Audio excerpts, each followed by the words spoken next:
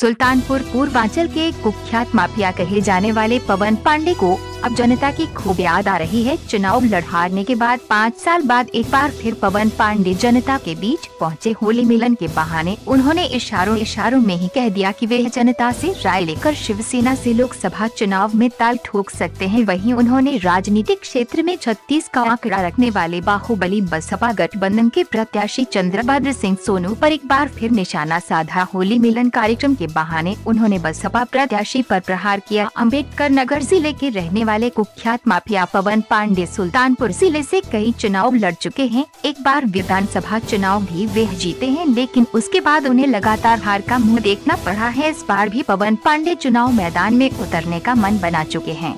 बिजित्वा महावीरन में उन्होंने होली मिलन कार्यक्रम आयोजित कर जनता की राय जानी। पवन पांडे ने दावा किया कि जल्द ही वे चुनाव मैदान में उतरने की घोषणा कर सकते हैं। बसपा के बाद वे इस बार शिवसेना से चुनाव लड़ने की बात कह रहे हैं। चौंकाने वाला पहलू यह है कि इस बार वे विकास नहीं, बल्कि हिंदुत्व के बल पर चुनाव लड़ने की योजना बना रहे हैं। तभी उन्होंने सागर आश्रम के पीठाधीश्वर मौनी महाराज और कई हिंदुत्व नेताओं को होली मिलन कार्यक्रम में आमंत्रण देकर बुलाया भी था। वहीं उन्होंने उन्होंने दावा किया कि बसपा के पूर्व प्रत्याशी, बसपा प्रत्याशी चाँद शिव सोनू और उनके भाई यशभद्र सिंह मोनू का राजनीतिक कैरियर खत्म कर देंगे। हमने अपने पोलिंग के लोगों को बुलाया है और आज इन लोगों से मैंने कहा कि अपने गाँव गाँव में जाकर मत लें। अगर ये चुनाव जीतने की स्थिति बनती है तो सात तारीख को हम चुनाव लड़ने की घोषणा करेंगे और शिवसेना से चुनाव लड़ेंगे। भाजपा ने क्या? चुनाव में टिकट देने में गलती की है क्या? नहीं भाजपा टिकट दे अच्छे लोगों को दे और ऐसे लोगों को दे जो राम मंदिर बनाने के लिए संकल्पित हैं क्योंकि मेरा उद्देश्य रामलला थे मैं रामलला के लिए लोगों का चयन कर रहा था। उसमें से एक महावीर पवन पांडे भी थे जिन्होंने राम मंदिर के लिए कई बार जेल गए हैं। राम के परमंजी जो नहीं रहे हैं उनके साथ आप बलिदान हुए हैं इनको भाजपा को चयन करना चाहिए था।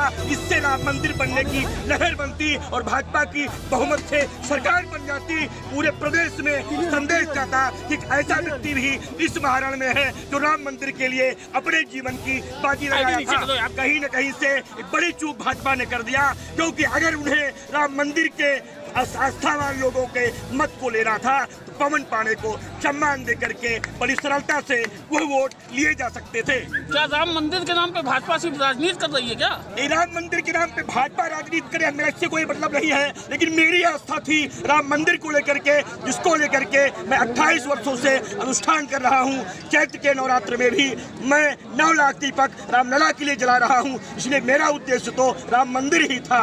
उसके लिए आप उपयुक्त प्रत्याशी थे। आपको अगर रामलला के नाम पर मत दिया जाता। तो निश्चित रूप से राम मंदिर का विधेयक पास हो जाता। नुकसान होगा भाजपा को चुनाव अगर भाजपा ने समय रहते हुए इन्हें सम्मान नहीं दिया टिकट दे ना दे वो उसकी भी स्थिति है। लेकिन इन्हें एक सम्मानित व्यवस्था देनी चाहिए और राम मंदिर के लिए राष्ट्रवाद के लिए आतंकवाद विनाश के लिए इनको आगे लाना चाहिए। अगर अगर अगर इसमें भी समस्या हो कम से कम सुल्तानपुर की सुरक्षा के लिए इन्हें बागडोर सौंपनी चाहिए तब भी सीट जीती जा सकती है। अगर आपने अभी तक हमारा Samar India news channel subscribe नहीं किया है तो अभी सब्सक्राइब करें। सब्सक्राइब करें और बेल आइकन को दबाएँ ताकि आने वाला प्रत्येक समाचार सबसे पहले आप तक